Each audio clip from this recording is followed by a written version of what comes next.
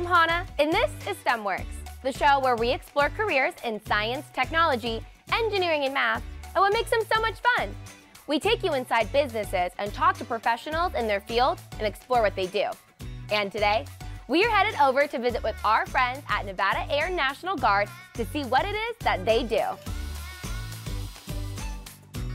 Everyone knows that going to school is one of the best ways to get the skills needed to get started in your dream career. But did you also know that the United States Air Force is another really, really good place to learn the skills needed for the latest STEM jobs out there? Also known as the 152nd Airlift Wing, the Nevada Air National Guard is our local branch of the United States Air National Guard, which serves as the support system and backbone to the United States Air Force. Not only do they help transport everything from personnel, medicine, food, and other goods and gears to support the U.S. Air Force, they also train and prepare mission ready airmen to safeguard our homeland, help U.S. military forces execute missions around the world, as well as serve our communities locally. They even help fight wildfires using their C 130 cargo airplanes, also known as the Mighty Hercules, by far the world's best and most versatile cargo airplane. But it takes a lot of highly trained professionals to make the Mighty Herc fly. Everything from piloting to fueling and loading to fixing and maintaining the planes is done by highly trained personnel and is really a group effort to make everything work smoothly and efficiently.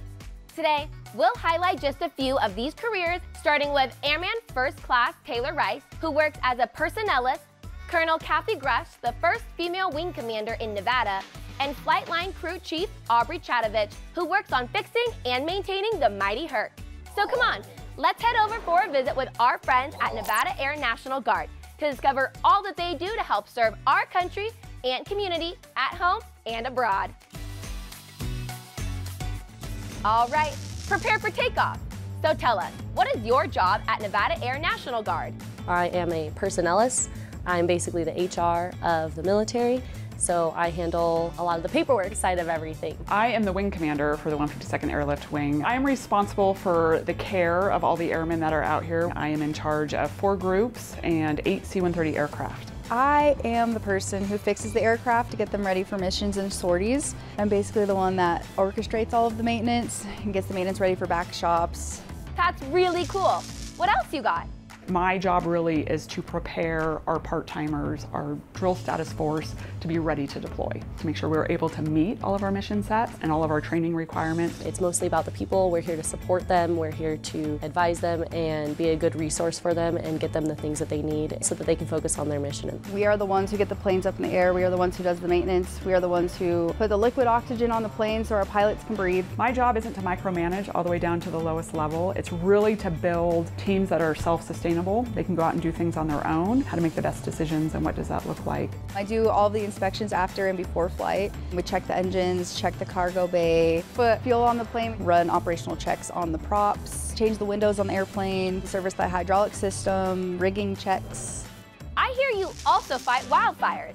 We're not really qualified firefighters, but we are qualified pilots and, and, aviators within the community who have a system that can let us do this. So we go out with a C-130 unit and we actually fight fires across the western United States or wherever it is needed in the U.S. The firefighting mission is one of my favorite missions we do just because we are saving houses, saving lives. And we don't just do missions in California for the firefighting. We go to Idaho, Colorado, whatever's on fire. I don't even think about being out there during the long hot hours because I had a successful day. We did four drops today. That's a lot of lives saved.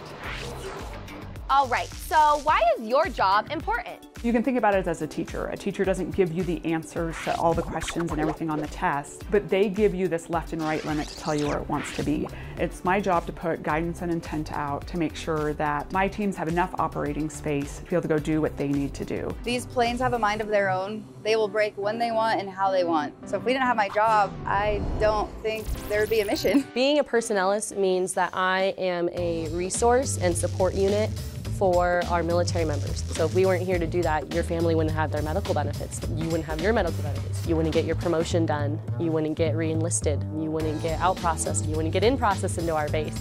What do you love most about your job? The Herc is probably one of my biggest loves. There is nothing as exciting to me as coming here and getting to smell Jet A, seeing airplanes every single day. And part of that is you literally can take this airplane anywhere in the world. I love my job. If you have a newborn child, I get to help you with that process. If someone passes away, I help with that process. If you're getting promoted, I help with that process. So we're a key function here. I'm happy I get to be a part of that process. The thing that I love about this job is after I marshal out the plane and they take off and they get wheels up, it's the most rewarding experience. And then when you get aircrew coming back and they're telling you what drops they did, how many people jumped out the back, like their mission for the day and how successful they were, it's like, I helped with that. I got the plane off the ground, so that's my favorite part. I truly love what I do. We are a volunteer force. We choose to serve. It is about wearing the uniform and the ability to serve my city and my state and my country, and this is my way of giving back to my neighborhood and my community. I knew I wanted to do a job that helped people in some way, and I also really like office work and being organized. I didn't know what job I wanted to do specifically. That's where my recruiter really helped me and was able to say, oh, you like to be organized and work in an office, like these are good options for you. My ultimate goal is to be a pilot.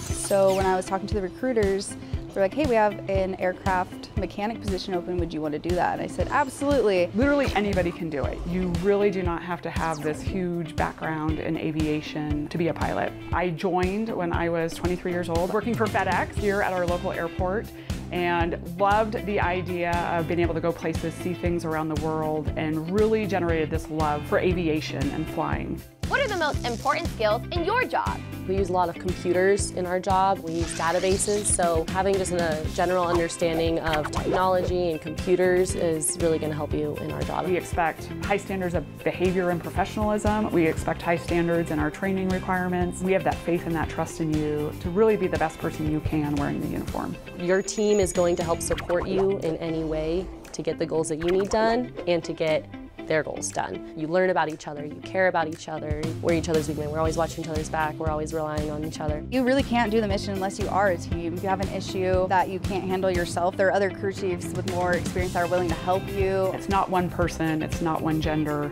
it's everybody kind of working together that makes this such a great place to be. And you'll hear that, we're a family. What other advice do you have for us? If you want to challenge yourself to learn about yourself and be a part of something bigger than just yourself, being in the military is a great option. It's not just aviation, it's not just pilots. We have doctors and nurses, we have firefighters, vehicle mechanics to aviation mechanics. If you like to weld, we have welding jobs. If you want to fly planes, they're going to get you on that path. So they will help you on the path that you want to take, and you can do that in the civilian world, or you can do it here in the military and be part of this big mission. Find something that you love and go after it. But if you never come try, if you never come look at what you think you might want to do, you will never know if it's for you. If you want to get some education and you can't afford it on your own, the military will pay for it for you. Absolutely take advantage of the opportunities. If you love airplanes and you know that you love airplanes, we'll join you with open arms. Wow, that was really impressive. Thanks to Taylor, Aubrey, and Wing Commander Grush, we discovered all about what they do at the Nevada Air National Guard and how many different career opportunities await you at the Air National Guard in your state. I hope you had as much fun as I did finding out about everything they do at the Nevada Air National Guard. But that's about all the time we have, so I want to thank you all for joining us for this episode of PBS Reno's STEM Works. You can find out more information about Nevada Air National Guard at their website. And for more information on these careers and others, visit pbsreno.org slash stemworks. And as always, don't forget to get out there and discover what it is that gets you going and on the right path to your STEM future.